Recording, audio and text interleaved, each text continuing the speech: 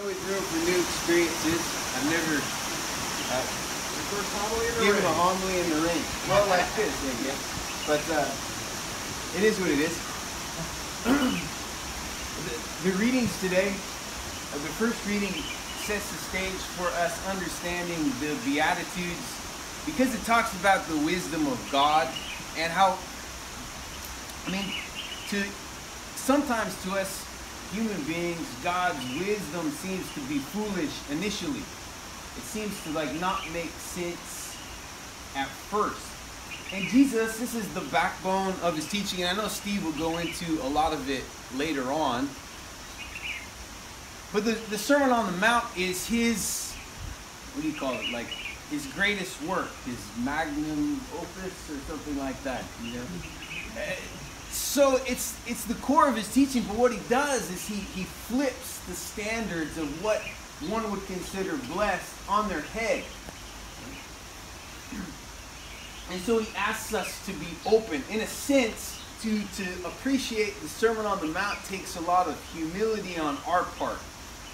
Humility meaning like acknowledging that look, we don't know it all about God or even about how to live the most fruitful or successful life.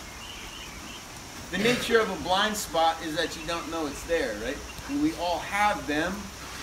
And so it's letting God address like the blind spots in our life. So I just want to talk about two beatitudes because you could go deep on any number of them. But what the first one is one that's always troubled me as a man, and that's blessed are the meek, for they shall inherit the earth. I think when we think of meekness, we think oftentimes of weakness. Like meekness equals weakness, and who wants to be weak? Who wants to be spineless or subservient or things like that? I don't think any of us want to be that. And especially, I mean, I know women don't want to be that, but especially as a man, that's the last thing you want to be is a weakling. So what does Jesus mean by meek? We look through the scripture. The scripture talks about Moses as being the meekest man on the face of the earth. But here's an example from the Bible.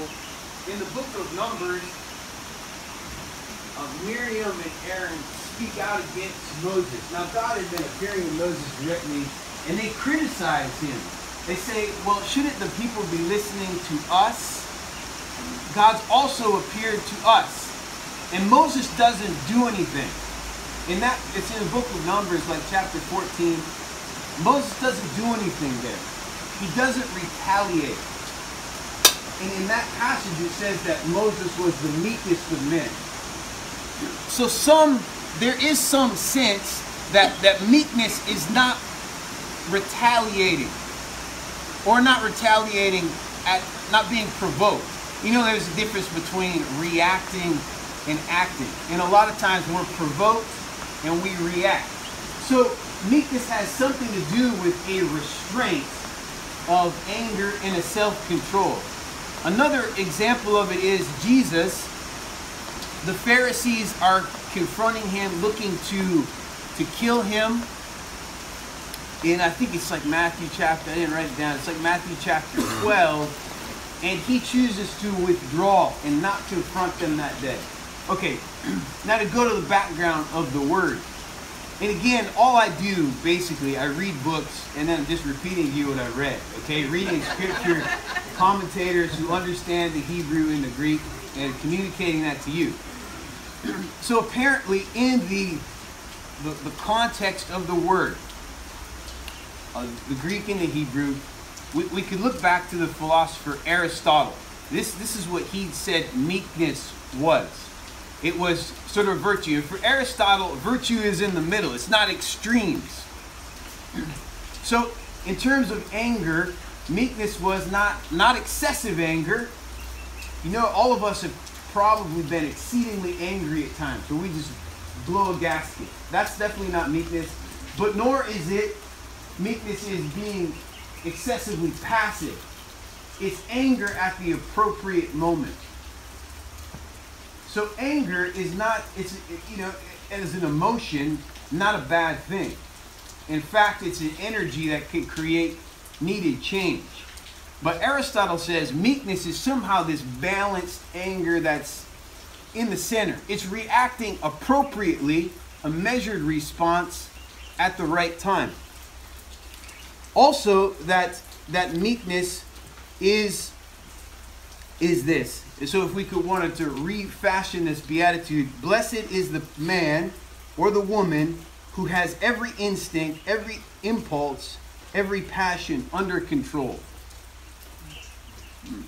So you see the tie into self control. We know, look, it's impossible to be completely self controlled. But, and here's where it ties into to God. It's impossible for us, and we're, we're told to cultivate the virtue of self control, but it's not possible to be completely self controlled, but we can place ourselves under the control of God. We can say, Lord, you help me to react appropriately.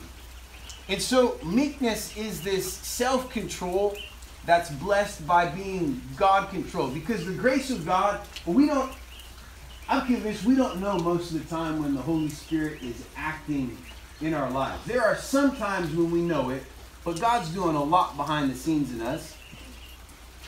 So in this this cultivating this virtue of meekness, it's placing our lives under God's control, and that's that's a degree again of humility.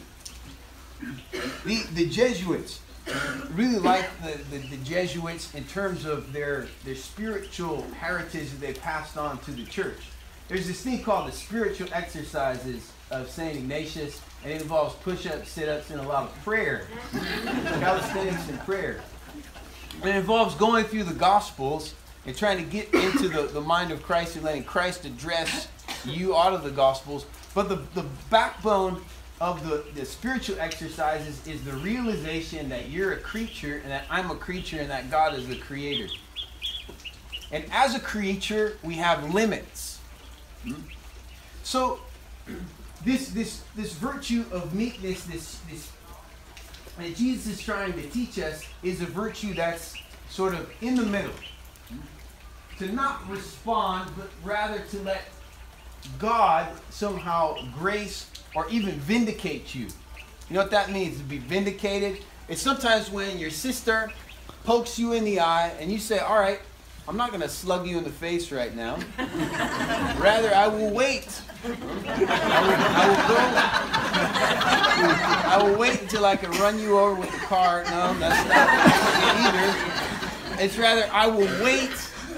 And, you know, God will sort you out. You're going to get yours.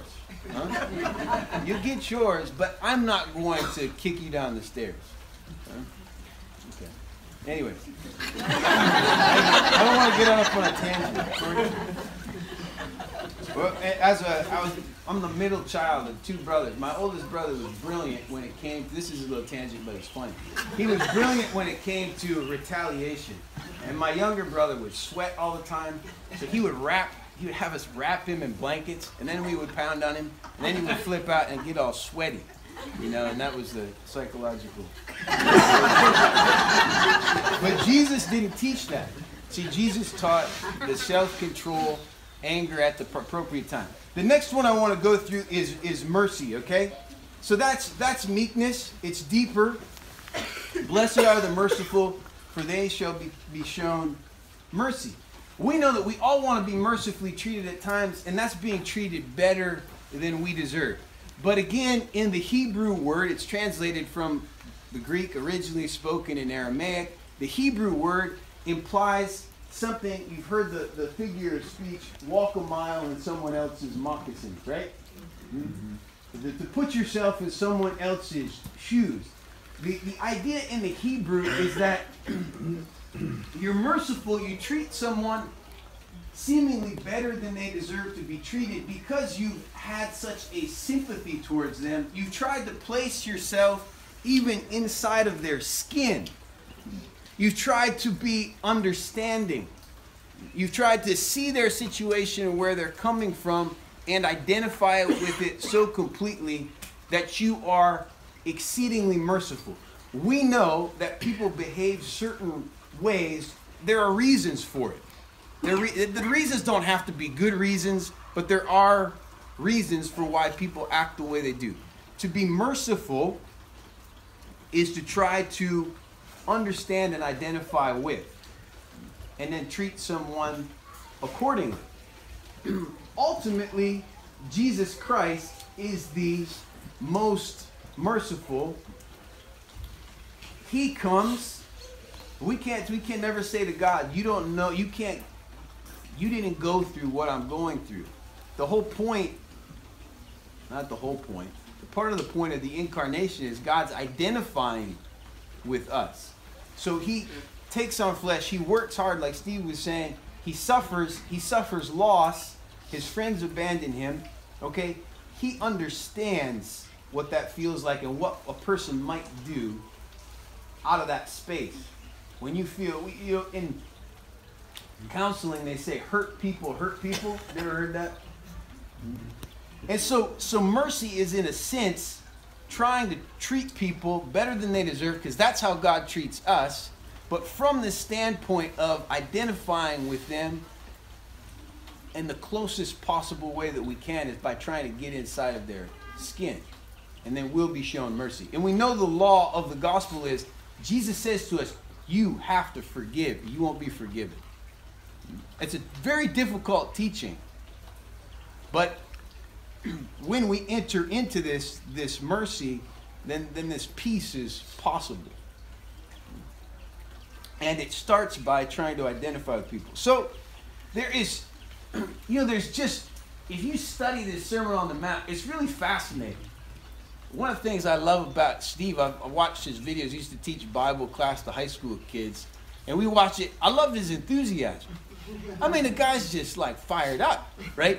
Well, I think the fired up is part of it is is a good thing for all of us to think about because there is so much here. I just talked about two beatitudes.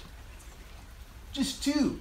There's so much depth. There's so much meat. None of us know it all here about the Sermon on the Mount. So I really want to encourage you to dig into some of these the, the works of some of these scholars because it really is fascinating. It adds a depth to our faith. I will stop.